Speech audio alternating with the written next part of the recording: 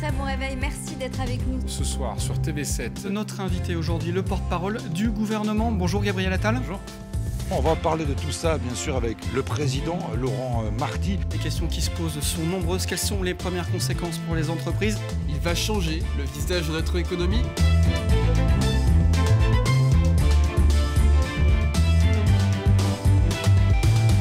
Bienvenue dans Vineo Veritas, le rendez-vous de l'actualité du vin.